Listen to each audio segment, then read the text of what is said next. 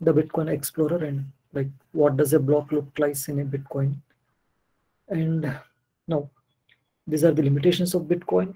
One of the major limitation like is the limited support for programmability. Like as I said, the Bitcoins, uh, the script, the scripting language of Bitcoin is Turing incomplete. It cannot support large uh, large programs or like it cannot support large number of opcodes. So we come to Ethereum. So like it was proposed in like year 2014, okay, which can overcome the limited programmability of Bitcoin.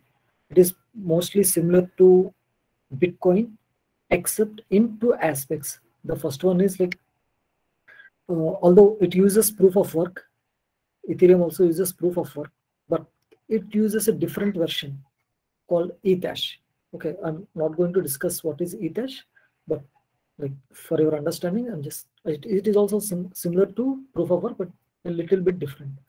And the second most uh, important difference between ethereum and bitcoin is ethereum do not use utxos type of transactions where bitcoin uses utxo okay sorry i have not gone into what is utxo like it is called as an unspent transaction output uh, let me show you uh, how a transaction looks like in the Bitcoin. So this is one of the transactions in Bitcoin. You can see here there is some input, uh, there is some input and this is some output and this is the value transferred from these inputs to these outputs. So what happens uh, generally uh, in our existing bank models, uh, we have accounts, right? So if I am transferring 100 amount from my account to your account, that means 100 is debited from my account and 100 is added to your account.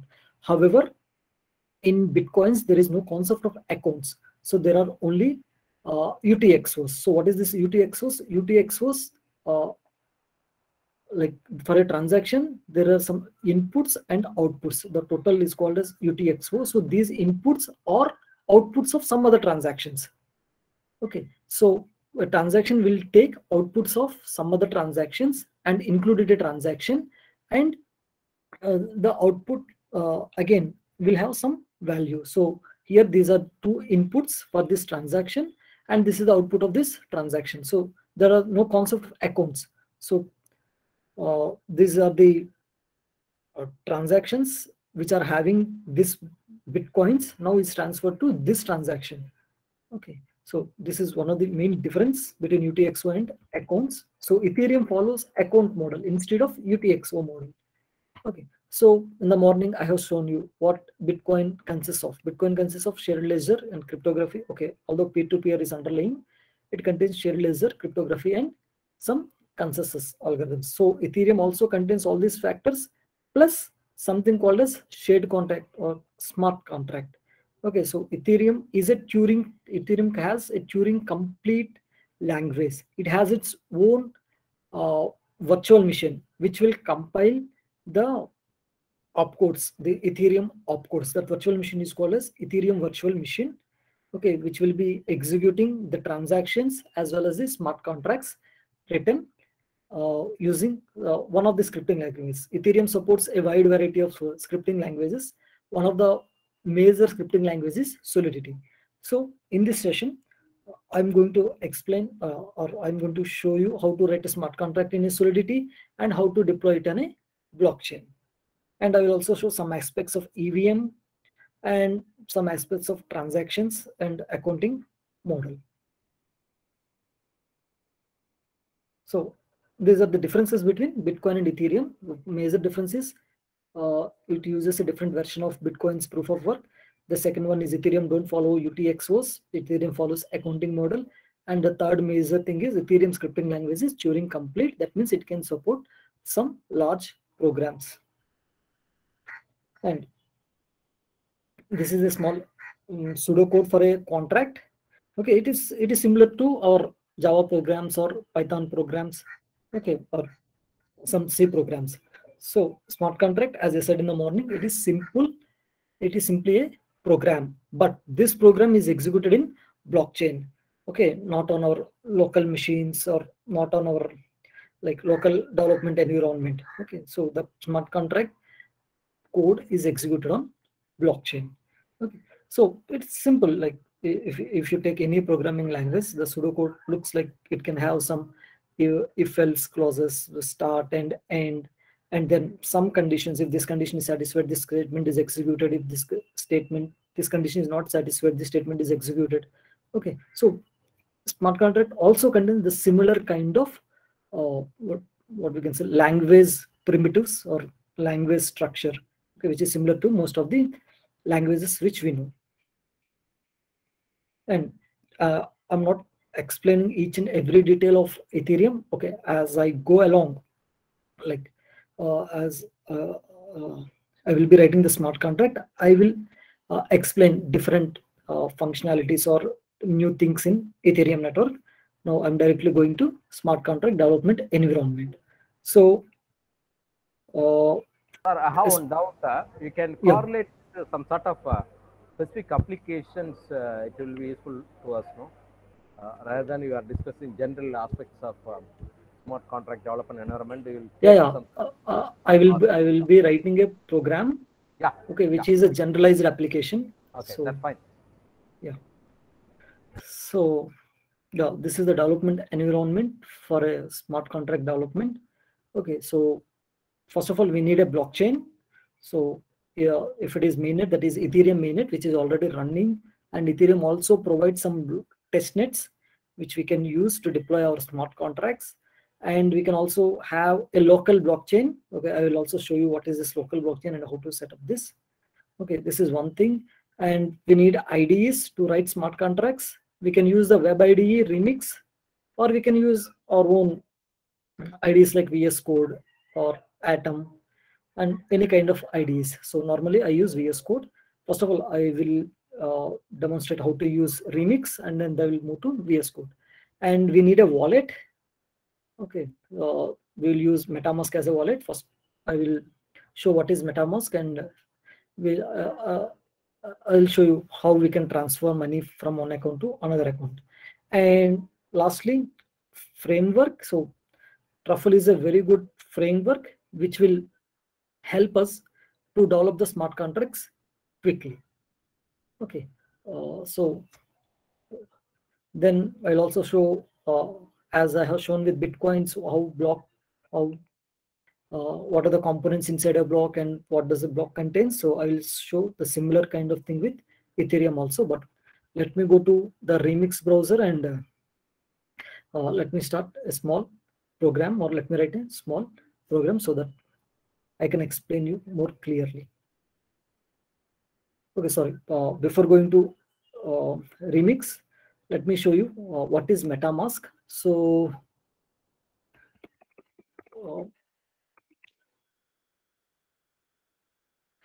MetaMask is a wallet, like as the description, it is a gateway to your blockchain apps. So you can install this MetaMask. It's a simple procedure. You can just, it's a Chrome extension. Okay, uh, you can add this MetaMask as an extension to your Chrome and you can set up a password and then you will land on this space. So here you will have several options. Uh, Ethereum mainnet, Ropsten testnets, these all testnets and this is my local network. So currently I'm not connected to Ethereum mainnet because I don't have a real ethers. So to work with it, I have only uh, testnet. Uh, I am connected to this Rinkeby testnet. Okay, and I have some amount in that Rinkeby testnet. So this is the amount I am having currently, and this is my account address. And each account will have a, uh, I said you in the morning. So we have only public and private keys. We don't have any uh, KYC or account IDs. We have only public and private key. So this is my public key. Uh, I can show you clearly.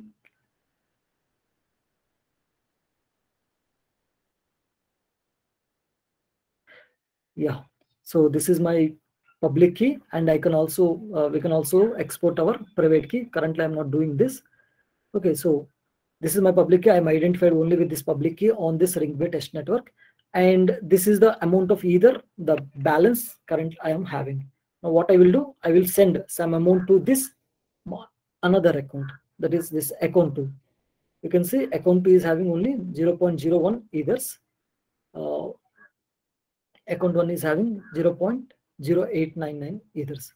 Now let me send 0.1 ethers to account to 0.01 ethers to account to then okay first let me copy account 2's address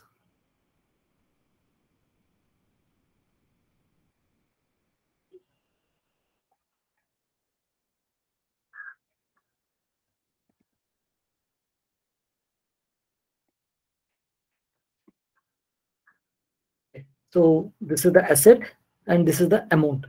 So when I click next, it will ask for confirmation. So what happens here is I am signing with my private key. So the private key is associated with this account one. So without this private key, I cannot send this transaction or this amount from my account one to account two. So you can see here, the transaction is still pending. So it should now what happens? It should be executed by a miner and it should be included in a block and that block should be propagated to the entire network and at least 50% of that network should accept my transaction.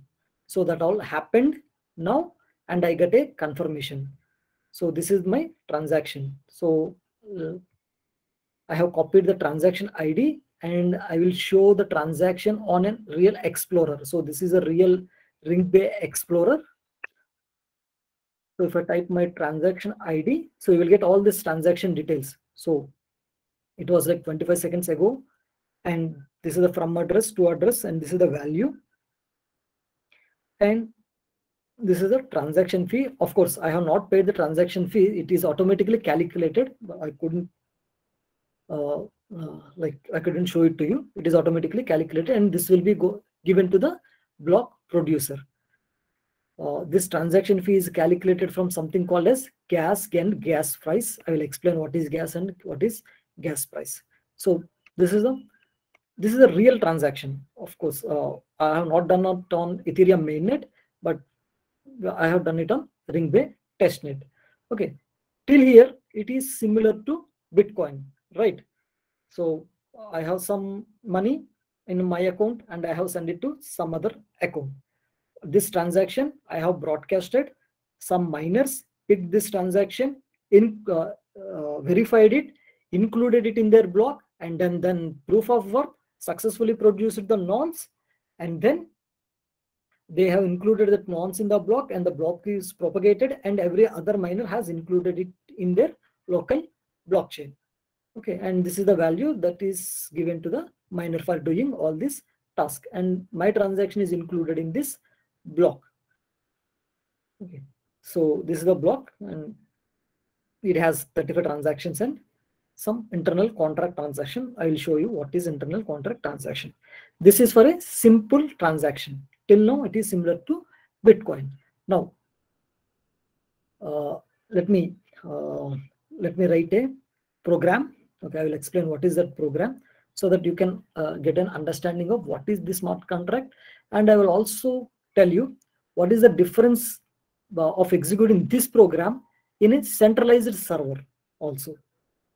So the second development tool which uh, i will explain to you is remix. So remix see writing smart contracts and deploying them is a simple process in ethereum. So this is a remix web ide okay i have already created a workspace called anits.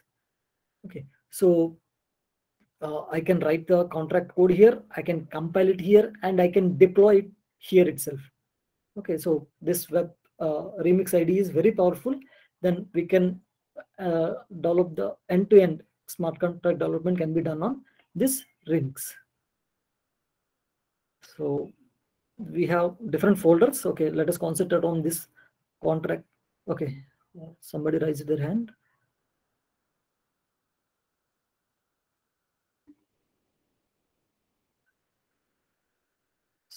Somebody has raised their hand.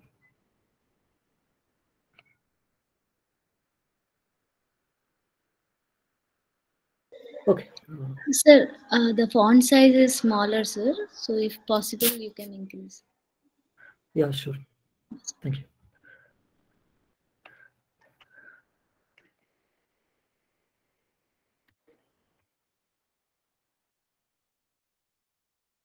I think it is visible now. Little yeah. more is so, little more. Yeah, it's, it's okay. Okay. So let me create a contract here.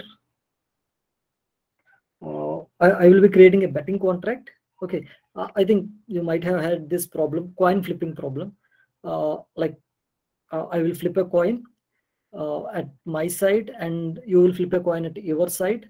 And uh, if I get zero and you also get zero, I will win. If I get zero, you get one, you win. If I get one, you get zero, I win. And if I get one and you get one, you will win. So I, I will be writing those rules here. So this will be a game and we'll both put the bet on that game and whoever wins the game, they will receive the bet. So this is very basic contract which I am writing here. Uh, like something called bet dot soul. So I'm writing this contract in Solidity. Okay, it is one of the scripting languages the Ethereum EVM machine supports. There are other like uh, Serpent, uh, other scripting languages, and there is one more. Uh, I couldn't recollect the name. So there are different versions of uh, scripting languages for Ethereum, but most people use Solidity. Okay, so the structure of the program in Solidity is similar to the structure of a program in Java or C++. So it is very much simple. Okay. Uh, first, we need to set the compiler version because this is ever upgrading uh, language. So it has different compiler versions. So I'm setting the compiler version as 0.8.0.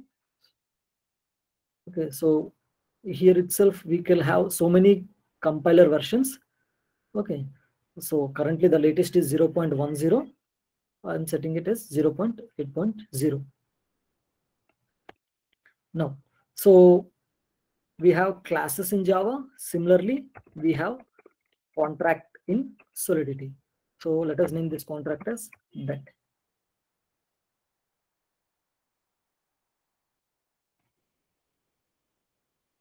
So let me uh, code the rules here.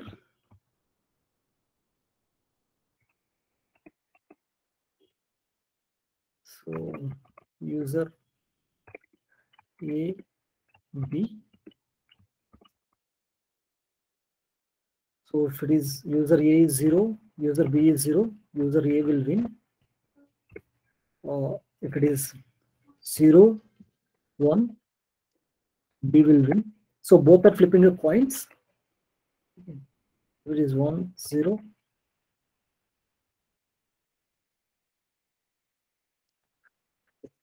So these are the inputs and this will be the output. And who are the users? Uh, let us fix the users also. So user A, as I said, there are no identities here. Okay, only the the only identities are public keys. So I'm taking this second person B2 as user A. And third person DB as user B. So these are two users and this is the game. Now uh, let us bet. The bet is uh, so then like 10 ethers. So this is simple. It's like rupees uh, in India, ethers in Ethereum. So the bet is 10 ethers. Now let us write the program. Uh, so uh, there are two types of variables in so, Solidity. One is the contract storage variables and the other one is memory variable. Actually, there are four types. Let us confine to only two types. One is storage and the other one is memory. So this memory types are used in functions. Storage types are used in the contract state. So whatever I'm declaring here are storage variables. And if I declare something inside a function, those are memory variables. Okay. So uh, let us take some storage variables to store. Okay, this is like a very basic programming language. So I'm writing it like at the basic level. Okay, so and I will also tell you how to uh, uh, like how to improve it. Okay, so let us think. uh,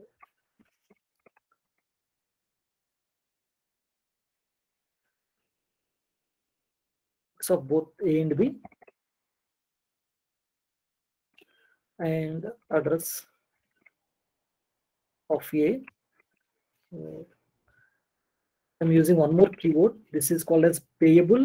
Uh, when you when an address or variables, uh, sorry, uh, functions uh, associated with this ether, it should be declared as payable.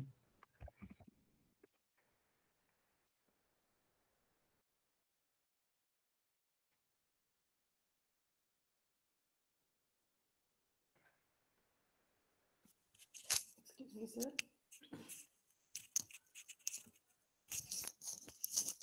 Excuse me, sir. Yeah. Can you repeat it, uh, what the meaning of payable again? Yeah. What for we So- use it? So when this address or some functions receives or sends ether's, it should be declared as payable.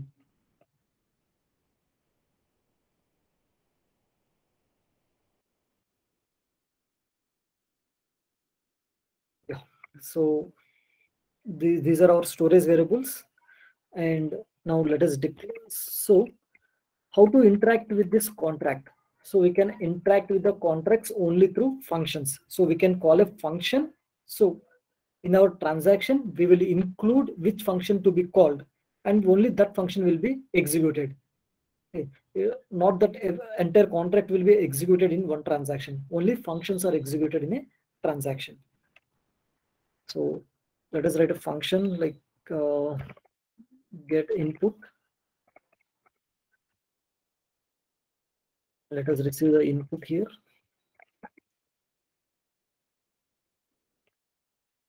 So now we need to specify the visibility of this function. So there are three visibility levels in Solidity, uh, not three exactly, uh, more than three, private, external and public mostly used. And there is one more thing called internal. So there are four uh, visibility specifiers for a function. So currently we use public. So if it is public only, we can call it from outside this contract, that is from the account, MetaMask, or from anywhere, we can call it. If it is private or internal, we cannot call it from the outside environment like MetaMask or uh, some other wallets.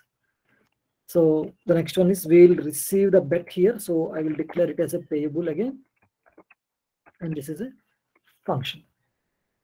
Now we need to, we receive this input either from A or B, right? If we receive from A, we need to set this variable. If we receive from B, we, se- we need to set this variable. So first, uh, let us check. Uh,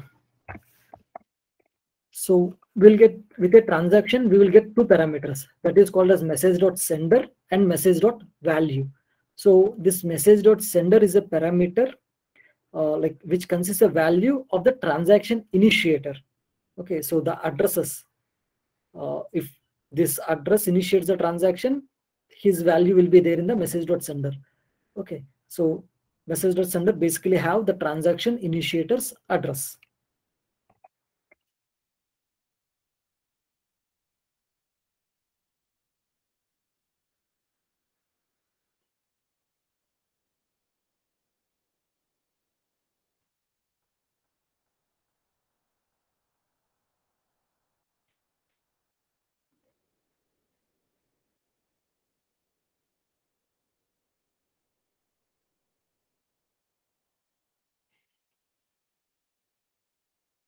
If it is B, and I said B.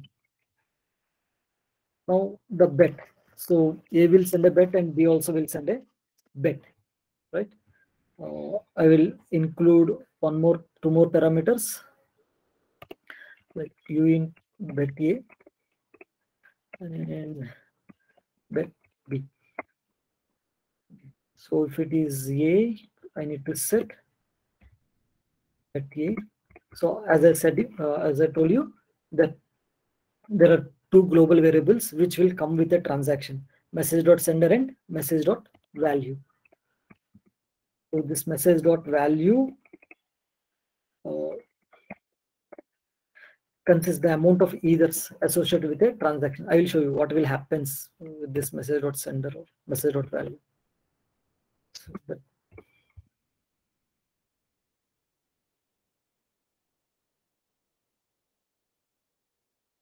that's it. Uh, we can include whatever we want, but for this example, this is enough. Now, uh, after both the users send some bet and their input to this function, we can have one more function like declare winner, which doesn't need any arguments and it should also be public and it should also be payable. Now let us encode the rules. So what are the rules? 0, 0, 0, 1, 1, 0 and 1, 1, right?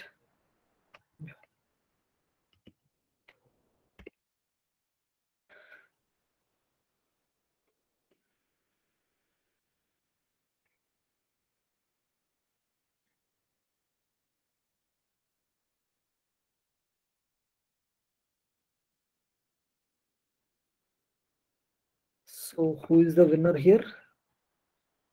A.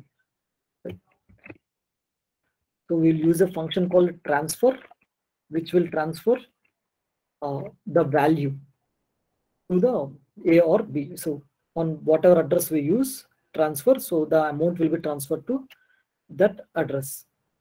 So he's the winner, so he should get his bet as well as the betters of the opponent. So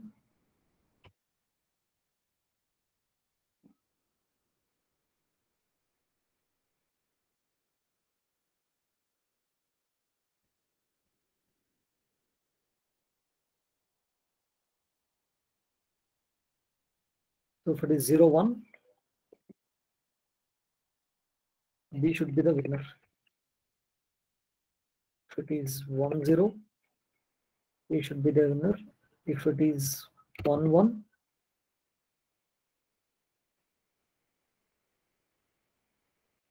B should be the winner. Okay, all right. This is our contract, a basic contract. Again, we can add whatever we want, but let me demonstrate how this contract works. So now this is the contract. So let me compile the contract first and let me check for any errors. So there are no errors. It is there is an auto auto compile option here. So currently there are no errors. It's just a warning. So now deploy. So where should I deploy? As I already told you, we can deploy it either on mainnet, on a testnet, on a local node. So if it is a local node, we will have only one node. Okay, it is not a network. It can it is only one node. Also, it is suffice. Actually, it is suffice for our exam uh, example. Uh, mainnet we don't have ethers currently because one ether is equals to four thousand dollars. Okay, currently we cannot afford to deploy it on a mainnet, and even for testnet also we require some faucet. Currently, I have only 0.08 faucet, so I cannot use testnet, but I'll demonstrate how to use this local net and how to deploy it on a local net. So, so here we'll have three different environments. As I said, if it is a JavaScript VM, it's a local node which will be running on this browser itself. Okay, not even a local node is required on the browser. Browser can also be a node and we can deploy it on it. If it is injected Web3, like we can use the MetaMask here. See, immediately MetaMask has been popped up. We can connect to MetaMask and MetaMask is connected to our Rinkeby testnet. Okay, so through this injected Web3 also we can connect. And the last three is Web3 provider. Like uh, if you have our local blockchain, we can connect to that local blockchain. I will show you how to connect the local blockchain first. Let me deploy it on a VM. So this VM has already me has already provided me with some around 20 accounts, or 15 to 20 accounts. Okay, uh, I will use only these accounts. And uh, let me explain other factors. So this is the value. So whatever you I am using this message dot value. Okay, I need to give it here. Okay, now what are the units? See, we have units, right? Rupee, paisa, and below paisa, there are some things. Okay, well, after rupee, we don't have anything. But similarly, in Ethereum, we have 0 to 10 power 18 divisions. Okay, so the first, the basic division is called as wei, and the last division is called as ether. Okay, so one ether equals to 10 to the power of 18 wei. We can specify whatever units we want. Let me specify it as ether. Okay, now this is the contract name which I wanted to deploy it. So this is a de deployment environment. So I'm deploying using this address. Okay, now if I click this deploy, okay, this contract will be deployed onto a blockchain node running on in my browser itself. Okay, so let me deploy this. So I have deployed this. So previously we have seen how a Bitcoin transaction looks. Now we can see how a Ethereum transaction looks. So it also have a transaction has, and this is the account creator. You can see here C4. So from C4, you can see if it is a contract deployment, you will you will get this type of trans uh, to address. Okay, and what is this gas? Okay, as I said, uh, as I said, uh, Ethereum is a Turing complete language such that we can write very big, big programs here. Simply, I can write something like uh, a while true. So this will never be executed, right? This will be containing in an infinite loop. Okay. This will be running in an infinite loop. To discourage big programs and these kind of malicious activities, Ethereum has introduced a concept called gas and this is the gas limit. So a block what again how to calculate this block? So every opcode so this is a high level language solidity right? So this will be compiled into a bytecode okay and the bytecodes are again divided into opcodes.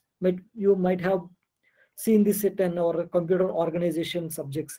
Okay so the uh, bytecode is again divided into opcodes. So every opcode, the plus opcode, minus opcode, multiplication opcode, push opcode, pull, sorry, not pull, pop opcode. Okay, they're different. Every opcode has some predefined cost associated with them. Okay, so when I compile this, it is compiled into an opcodes and the gas is calculated. So for a block, the there will be a maximum gas limit. That means a block can include only this number of opcodes. Like for example in the bitcoin case i said 1 kb the transaction uh, the block size. Similarly in ethereum the block size is defined in terms of gas. Okay. Then what is this transaction cost? So now if i call this get input function this function will be executed right? So again this function is compiled into bytecode bytecode into opcodes. Every opcode has a predefined gas. Uh, so now how much gas this function is taking. Okay, even for the storage, say I have declared so many storage variables here. Even for every bit of storage, it will cost you some gas. Okay, so this contract deployment has costed me uh, some 3,48,785 gas. Okay, now this gas is is transferred into the form of this gas is calculated in something called gwei. Okay, now this is transferred into ether and that is deducted from my account. That is why there is some uh, ether detected from my account. Okay, this is the account I have used it for deployment. So I have deployed, so it has costed me some gas and that is deducted from, and this is paid as a transaction fees to the miner who has included my deployment transaction in a block. So these are all interrelated. Okay, so the input, if it is a contract deployment, the input is the contract code itself, and there will be no output as we are not sending. So we have not used any constructor. Also, we have not sent any value with the transaction. So it is zero. So this is what a contract deployment looks like. Now, where it is deployed?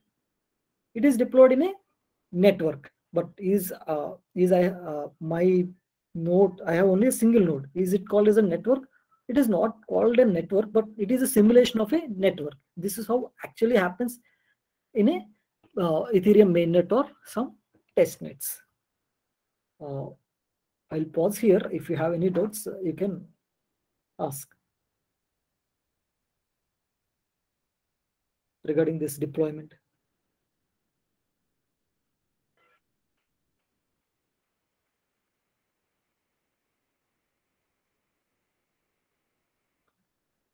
Okay, uh, I assume there are no doubts. So let me continue. Yeah. So Excuse me, sir. yeah. Apart from this uh, smart contract coding, can you briefly explain about the fields that are existing at the left side? Deploy and run transactions. You now right now you're in deploy and run transactions. You're able to see some fields, right? Value, contract, all those things. Here, yeah. Yeah. Similarly, in the left side we have four more icons. Yeah, okay, okay. Yeah. Sorry. Please Yeah. explain about those. sir. So this is like normal file structure, what you will get. So you can create the contracts here.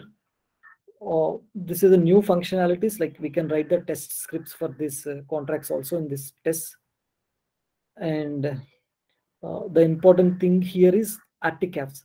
So whenever you com compile a dot sol file, this JSON file is uh, generated. So this JSON file, for example, this bet.json, which I have compiled, okay, contain every information of the contract. For example, you can see the function names, okay, and the variable names which I have declared. And one important factor is called as ABI. So if there is an ABI, that means it will give the signature of the contract itself. So we require ABI in order to communicate with the contract which is deployed in the blockchain because code is not available for us. Okay, only ABI is available. We can use this ABI. uh,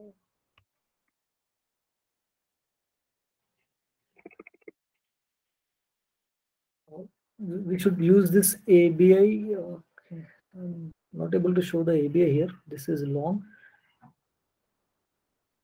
We can use this ABI to communicate with the contract, and that is about this file structure. The second one is it's What is the compiler meaning of of ABI, sir? uh, application byte interface something. Uh, I couldn't exactly recollect the full form. Like an Oh. interface. It's like an interface, sir. Interface, yeah, it's like an Oh, oh. interface. oh, will okay, sir. Uh, so the next component is the Solidity compiler. Okay, you can set whatever compiler version you want. Currently, I set it as 0.8.0. And the language is Solidity. As I said, we can write contracts in different languages. Currently, I'm writing it in Solidity. And the version, like uh, this Ethereum has been hard forked. Uh, maybe in the later sessions, you will know what is hard fork and what is soft fork. Uh, this has been hard forked so many times to include new functionalities. Okay, and these are the names of those hard forks. Uh, currently, I'm setting it as default, and there is some auto compile option, or we can you can compile it manually. Okay, and this is the contract name which you want to be compiling, and these are the compiling say details uh, helpful for debugging. And as I said, this is the bytecode that, that can be copied, and this is the ABI that is copied. Okay.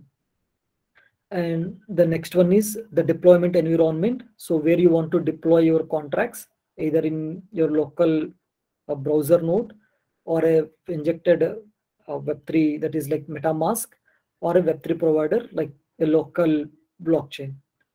Currently, I'm setting it as Java VM, and these are the list of accounts, default accounts that you get with this Java VM node. If I set it to my local blockchain, I will get different accounts and the gas limit, like how much gas like you wanted to spend for a transaction. Okay, as is, as I said, there will be a gas limit for a block. Similarly, there will be a gas limit for a transaction. So the number of opcodes a transaction can contain is limited by this gas limit. And value, what is the value that is associated with this transaction? I will show you when I'm using, uh, when I'm sending the transaction to this function, get input function. And yeah. then this deploy will deploy the contract. Or you can load a particular instance of a contract by using the contract address. And you will get the interface to interact with the contracts here. So these are the two functionalities. You can see if it is a public functionality you will get this color. And these are the inputs. So i have here the input. And the same field i will get here. I can input the whatever input i want. And this call data uh, like it is some kind of advanced topic.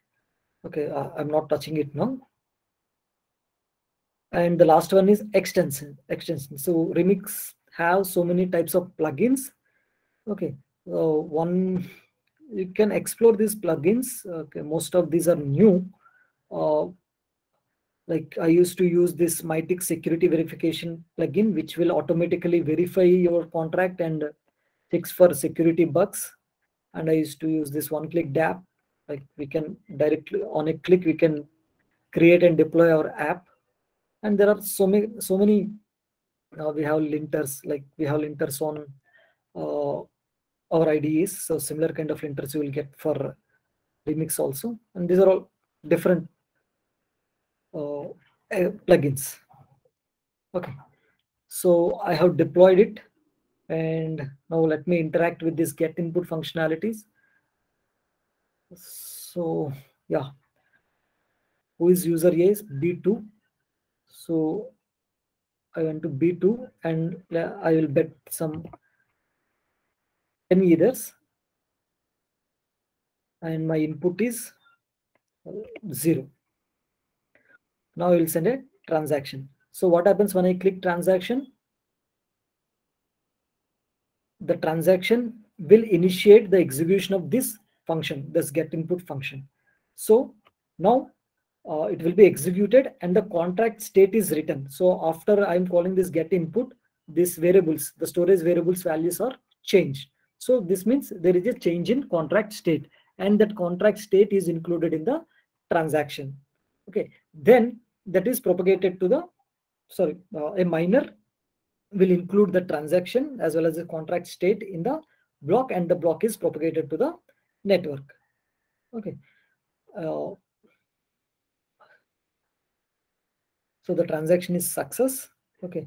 Now you can see here, previously his balance used to be 99. Now his balance is 89 because we have sent 10 ethers. So now the 10 ethers are in the hold of this contract bet. So that is why this message dot value is used there. And this message dot sender will automatically pick this B2's address. Now let us go to DB and his input is also zero, for example, and he is also sending some 10 ethers. Now both the transactions are success. Now his balance is also okay. Oh, his balance is reduced to 93 Okay. I think I have inputted it wrong.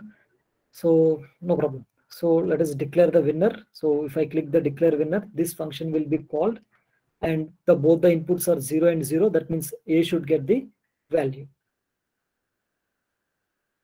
So that is also executed. Now you can see the A's balance is updated to 106.9. So the B2 address has won the bet and he got the value let us try with this AB and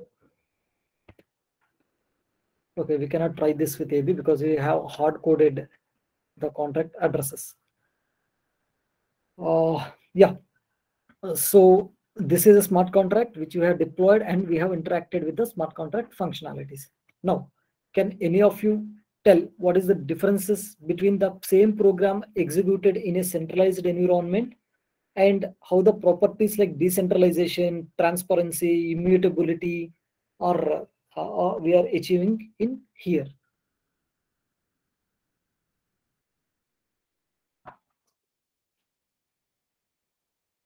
Okay, I will pause for a minute. If you have any doubts, you can ask.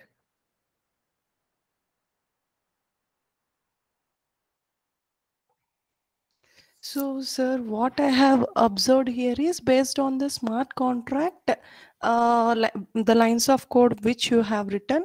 Uh, once the winner uh, is, I mean, like based on the inputs, if you are giving zero zero, if that condition satisfies, Yeah. then only the amount is going to be transferred to the other party. Yeah. So it's purely based on the smart contract lines of code. So because of this, we are achieving decentralization uh, property. So there is no trusted party in the middle like bank. Yeah. That is what I have observed. So once the uh, condition satisfies, then only it is transferring from A to B. Otherwise, it is not transferring to anyone. Yes. So uh, from this here, here what I understood is uh, it's decentralized. And coming to immutability, can you explain, sir? Yeah, I'll explain. So uh, let us assume the same program is written in a server, like using Java or some other program. Now there is a server which is under some uh, X control. Sir, I have Now- one doubt, sir. Yeah. Uh, this sort of transaction generally we are using in public network, that is internet. So Yeah. the hackers are uh, living across the world. They try to hack the information. So, so how the the mutual uh, the authentications how it will be uh, preserved? Yes, uh, very good question. See, uh, when I'm transferring this 10 ethers from this account to the contract, what happens is like this is like an asset associated with this public key. So in order to transfer this asset, this asset, I need to sign this transaction with my private key. So who knows my private key? Only me knows my private key. So what is signing? Sender and receiver only know. The Yeah. recipient who are, who are accessing your data, the recipient only know. In this case, only the sender knows. Okay. Okay. The recipient can verify whether I actually has signed it or not. Oh, that's that that's uh, the, whether it's a trusted one or not. They have to verify. Yeah, Ah, yeah, very they can verify it. So that is uh, if there is some hacker in the between and he changes the transaction content also, the signature will differ. The signature won't match. Okay. So there is no problem with that hacking kind of thing here because only I knows the public key. So once I sign it, nobody can change it. If if it is changed, it can be easily detected. Yeah. Yeah. Now, uh, the same program is written in a server. It is like when some X parties uh, like control. Okay. Now this A and B have to put the trust on X. For example, X favors B. Okay. Even though uh, B's value is one, A's value is zero. General, sorry, if it is zero zero, A should win. But this X favors B. So what this X will do? He will change this B's input or A's input and declares that B as the winner. Okay, uh, that centralized the same program runs in the server with a trusted party. That problem may happen. That is the first case. But here, as the smart contract is deployed in the blockchain, nobody controls the blockchain. Nobody can change this logic code. Once it is deployed in the blockchain, it is forever. Nobody can change it. Okay, this code cannot be changed. So the output cannot be changed if it is a code in a block smart contract code on a blockchain. That is trust. What is immutability? Here immutability comes in two ways. The first way uh, the code of the contract cannot be changed. Once it is deployed it cannot be changed. That is immutability for contract code what is the second immutability? See this transaction which has sent money to uh, this account b2 this transaction is also present in a blockchain.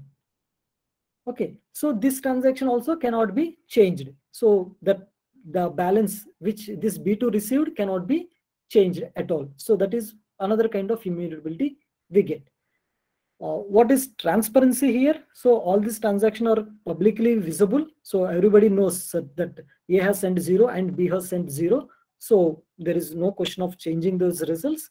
And uh, that type of uh, uh, transparency we will get. And uh, these are the properties like which we will get with this smart contract and everything. So if if you still some people has any doubts regarding how we can achieve these properties without a central trusted party, you can ask. Sir, can you correlate this with privacy property? Yes, Uh, I'm I, getting. I yeah, like uh, the addresses are anonymous. To Yeah. and from and to addresses are anonymous. Yeah. Th- with that, we can provide a little kind of privacy that nobody knows who the actual persons are.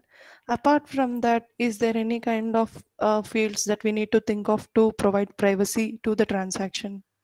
Yeah, I'm coming to that part. See, there are two kinds of privacies in a blockchain. Privacy for a user identity and privacy for the user data.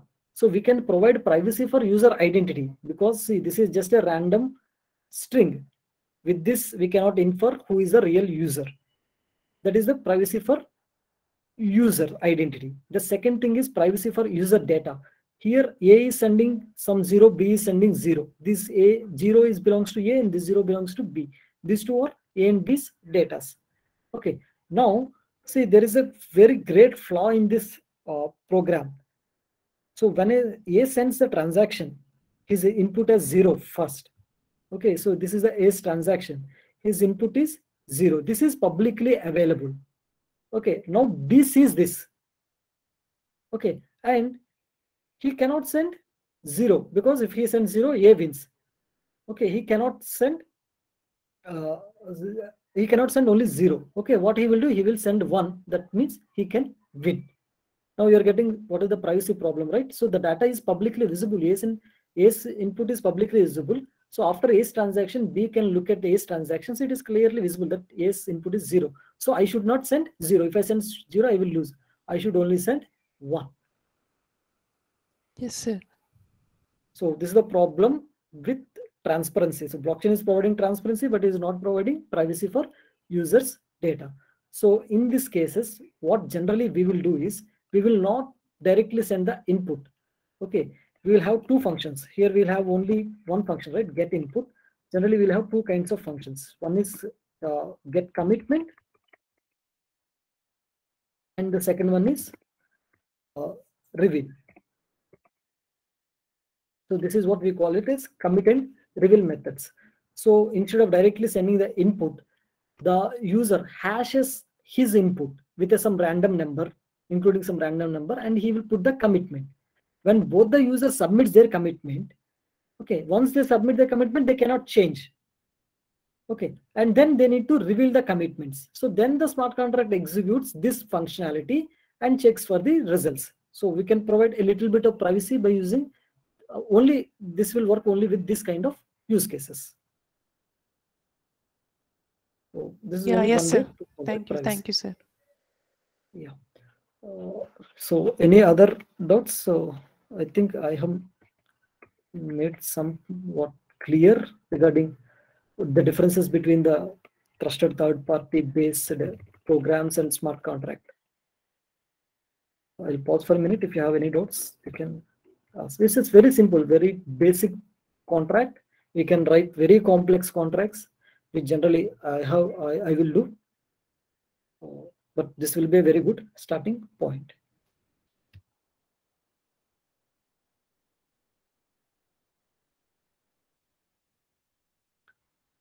Okay, uh, let me move to the next environment. So we have covered MetaMask, we have covered Remix, and uh, we have covered testnet for some part. Now, what is this local blockchain? So we have very good framework called Truffle.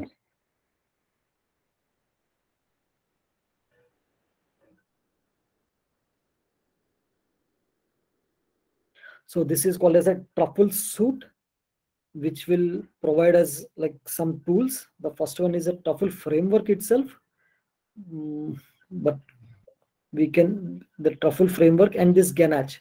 Ganache is a local blockchain this is just a one-click blockchain which we can use for our local testing and development of smart contracts.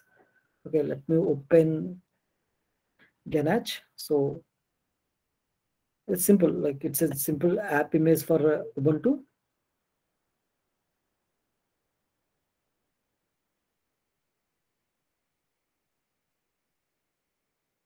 So here you can have two options. You can either create a new workspace or there will be quick start and you'll have two. Uh, Corda is also one more public blockchain. Ganache supports both Corda and Ethereum. Uh, I will go with Ethereum. So this is my local blockchain network.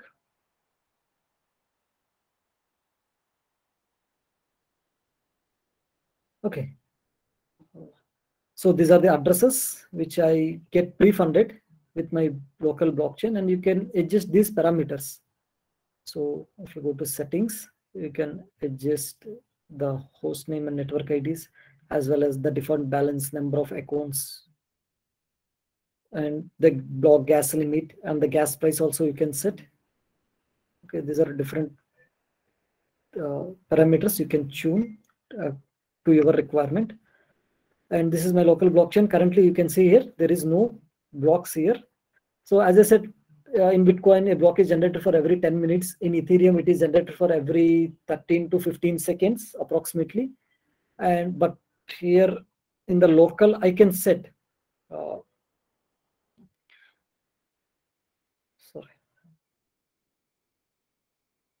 So I can set whether it to auto mine or the mining block time. So I can adjust it because I'm not doing any mining here or I'm not doing any real consensus here. So I can set it uh, my mining time as well as auto mine.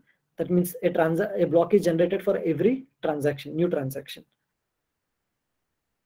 So, okay, let us connect this workspace with the remix. So for that you need this one RPC server address. So this is 127 point.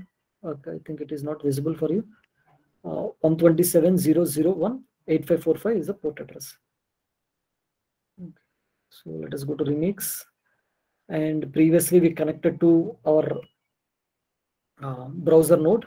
Let us connect to local blockchain. So we'll get like this. So the same address 127.008.545.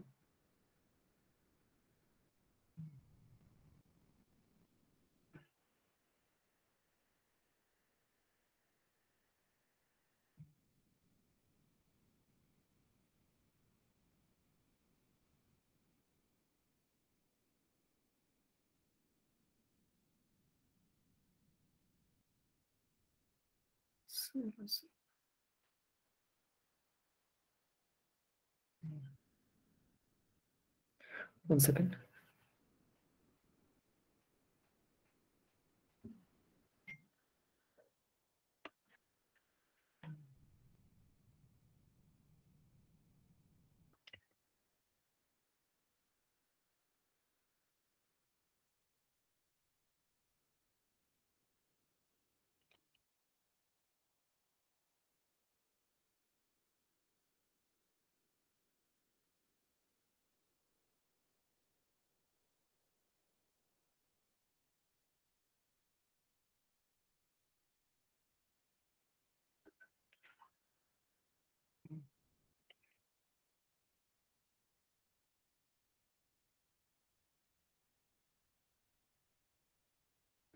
Okay, uh, I couldn't connect now to the local network. Uh, no problem. Okay, uh, the simple like we can just click Web3 provider and we need to give whatever the Web3 endpoint. So this is my Web3 endpoint. Okay, let me change it and try one more time. So it should be 7545.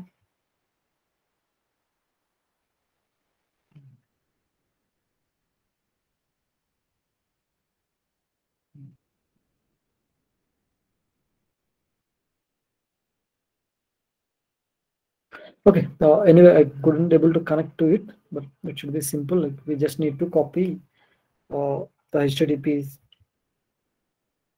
RPC server address. Uh, okay, uh, let me go to what is Truffle and uh, we'll see uh, how we can deploy the same contract using Truffle. So Truffle is a framework which will greatly help us uh, in reducing the contract development and deployment time. So here it is like a basic contract, but as the number of contracts increases, it will be difficult to manage in the IDE.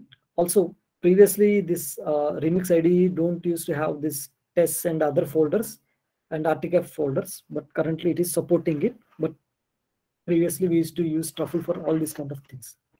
Okay, uh, let me go to. So bef- for this you need to be installing Truffle. Uh, Truffle is uh, Truffle is an npm package. That means you need Node.js uh, to be installed. So first you need to install Node.js npm Truffle, and then you should get to this uh, step. So let me create a folder.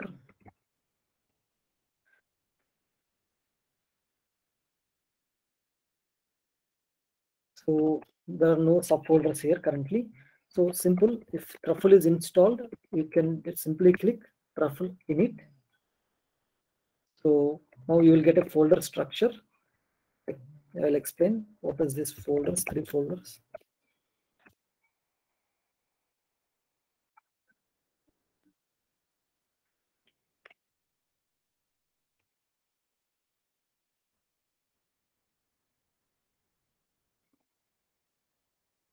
Okay, so these are the three folders created by Truffles. So this in the contract folder, we'll write the contracts. All .sol files will be in the contract folder.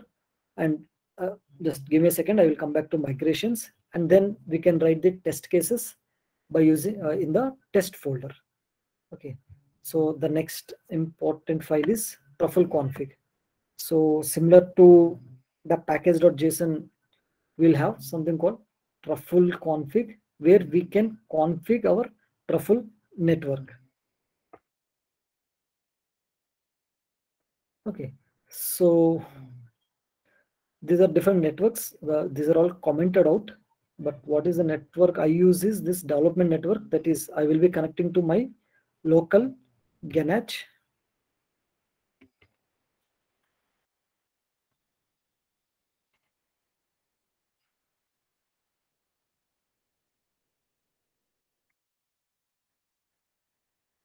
Okay, so this is the host name. Currently I set it as 7445.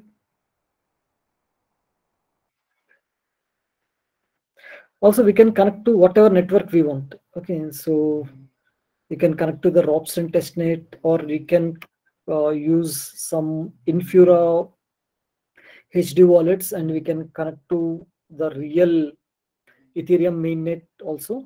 But currently, I'm connecting to my local development network. And the other thing is we can configure our compilers. Currently, it is configured to 0.8.9. You can configure to whatever version we need. But for this to happen, you need to install Truffle first. Okay, so you can just type uh, full version. Oh, sorry.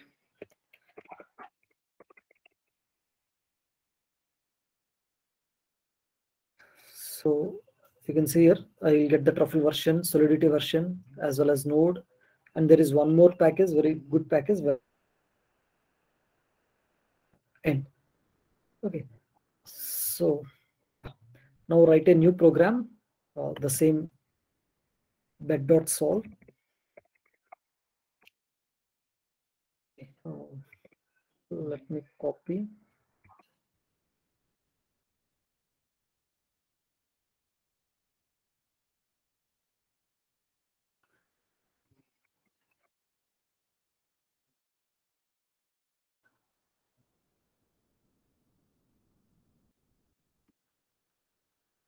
So I just copied the bet.sol here. And for this, I need to write migration. Maybe if some of you are familiar with uh, uh, DBMS or database says, you should write a migration file like moving the data from uh, one database to another database. I, am not exactly into that topic, but I just know very little things about it. Uh, similarly, we need to write migrations here. Uh, this migrations will help you uh, to deploy the contract. So it's a JSON file, sorry, JavaScript file.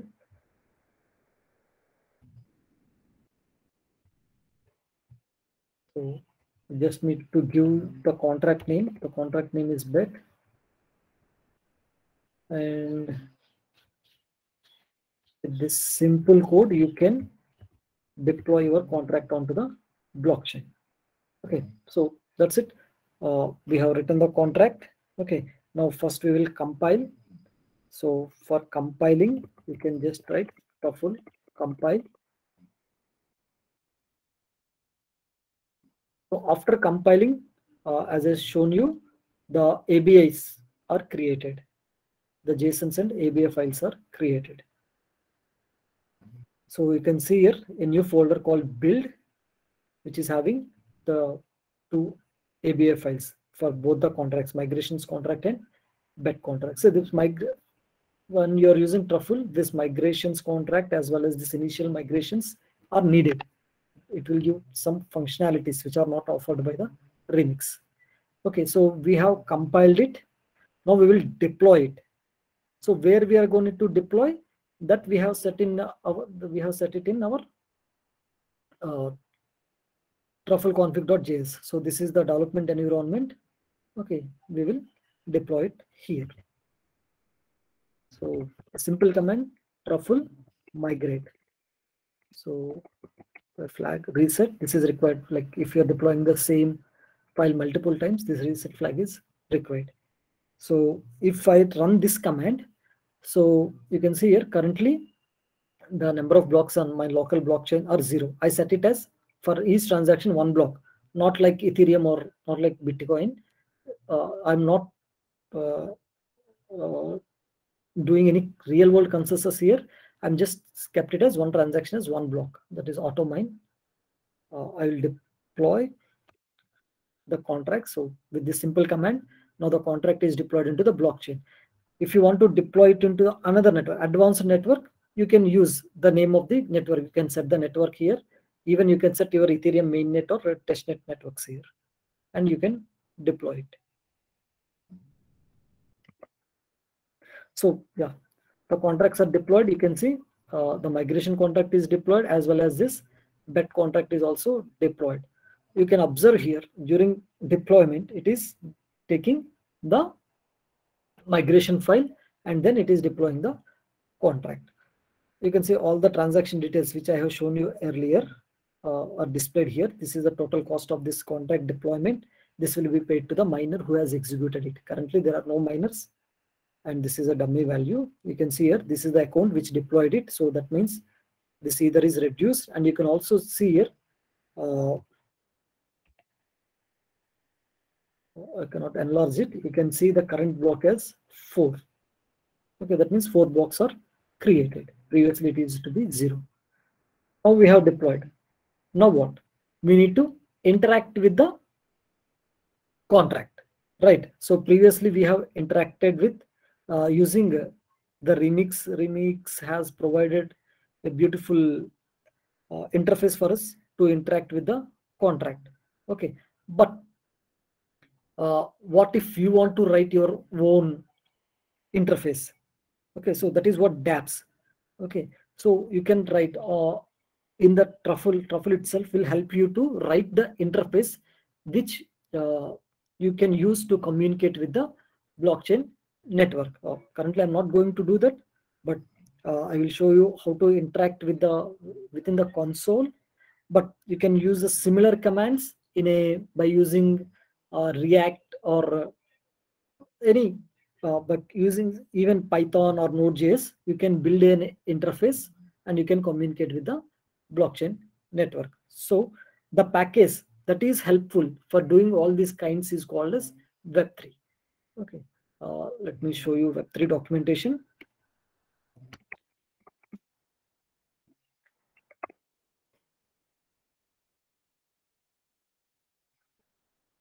So this is the Web3.js documentation. So you can clearly see here, it is a collection of libraries that allows to interact with a local or remote Ethereum node okay by using this we can construct a beautiful dApps okay and we can interact with the contracts which are deployed on the blockchain okay uh, so let me open the full console So truffle console also helps me also helps me to interact with the deployed contracts. So now where the contracts are deployed here so i have uh, truffle console now which it can communicate with this blockchain. So now first i need to fetch the instance of the contract. So what is my contract name? Bet. Uh, something that a equals to. So this is all javascript you know. Uh, it is async asynchronous so we need to use await keyword and the contract is bet. And if it is deployed yes. So now if you print a you will get the entire ABI this is a deployed contracts ABI not the json file which we are looking at. So we will get the address as well as this is the ABI so you can interact by using this variable a. Okay, now what is the function? Uh, okay, where is the code? So these are the two functions. Oh. Yeah, the problem is here we have coded uh, these addresses are not available here. So we need to redeploy it excuse me for that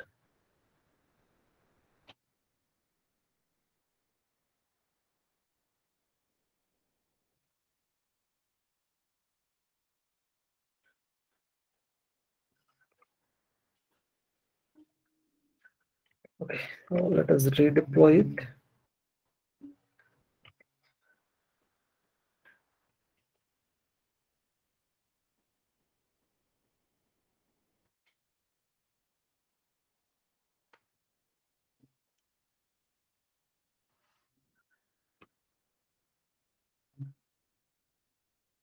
So contracts are deployed and let us fetch the instance. So this is already declared. Yes. Now we'll call this function. What is the, what is the function name? Get input. So a dot get input. Oh, so what is the input here? Some input we need to give. Let us give it as zero. and from whom uh, so the message dot sender and uh, message dot value we need to set it here so from this account right so, and value now, how much ether we want to bet 10 ethers as already said uh, one ether equals to 10 power 18 wei. So here we need to specify only in terms of wei. Okay, so this is 10 ethers. And if I write 18 zeros here, that will become 10 ethers. So it is 10 wei. If I write 1, 2, 3, 4, 5, 6, 7, 8, 9, 10, 11, 12, 13, 14, 15, 17, 18. So now with this 10 ethers. So the transaction is success. You can see the transaction receipt. Similarly, uh, send some ethers from this account.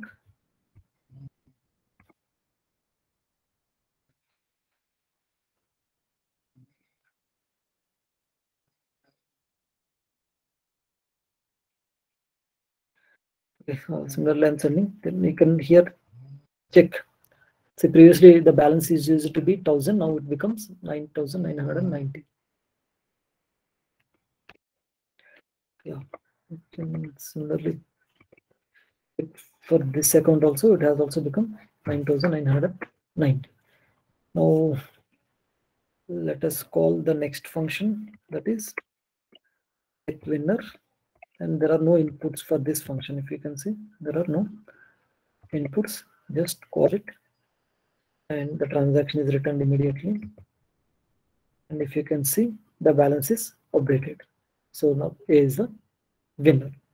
Okay, so this is a simple uh, truffle uh, environment. Although you can use Remix, but Remix cannot be used for large projects.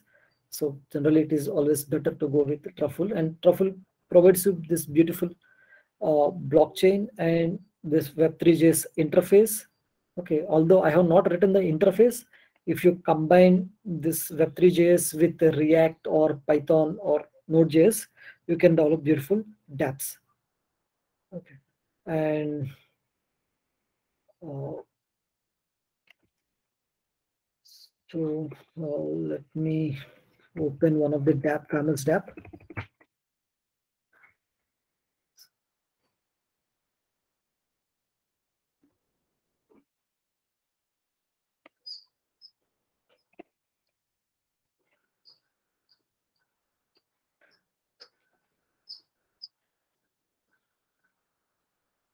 So this is one CryptoKitties is one of the famous dApp. Like there are some standards, like whatever we have seen, ethers or bitcoins, those are protocol level coins or tokens. Uh, there is one more called application level tokens uh, that we will call it as ERC20 and ERC721 tokens. Okay, here CryptoKitties is ERC721 tokens and the market value for this CryptoKitties is also like in billions okay what happens is you can own a digital uh, cat and you can breed that cat and you can get new cats uh, by breeding the cats. And each cat will have its own value. You can transfer the cats. Okay and you can do but all this the logic for this generation of cats and breeding cats is all all written in solidity and is deployed on ethereum mainnet so this is one of the famous uh, dApp. And there is one more famous dApp, Decentraland. If you have some interest, you can go through these uh, websites, CryptoKitties or Decentraland. Then you will get the basic idea of what we can do with these smart contracts. Yeah, now I will pause for questions. If you have any questions, uh, please let me know.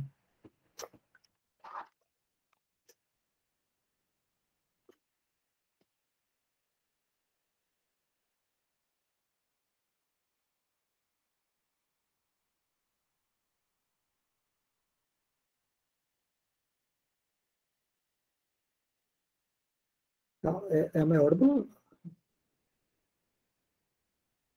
Yes, sir. So you can, if participant having any questions, they can ask.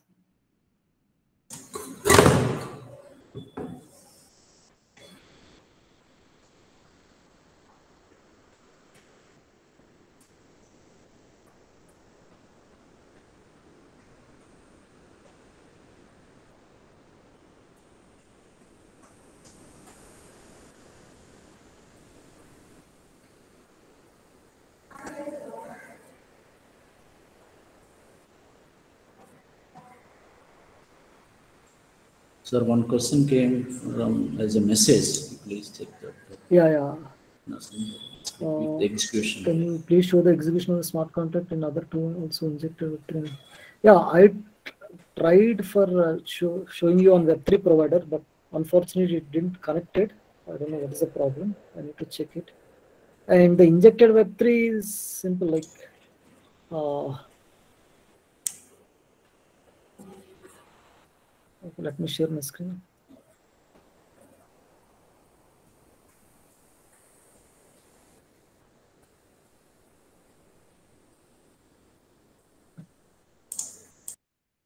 So this injected Web3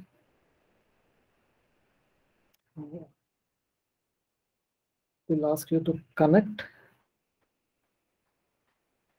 So now it is connected. So these are the accounts. Only I have one account currently, but I think if I try to deploy it, I should get an error because I don't think I have sufficient ether. Oh, I think I have sufficient ether. Okay, let me confirm it. Yeah. It will take time because now the real consensus process is taking place. Now you can see the transaction has been executed on Ropsten testnet and with this transaction, sorry, with this transaction hash, you can directly go and check on uh, the Rinkeby testnet. So,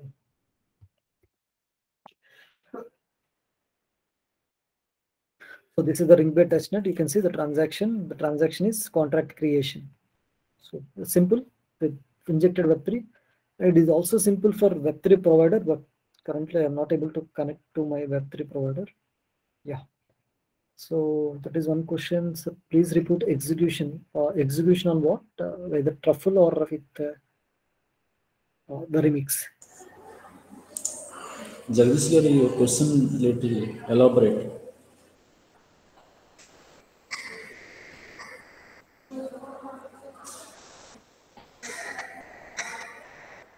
Yeah, uh, Ganache, like payment truffle. So uh, there are simple commands. First one is compile. So the contracts are compiled.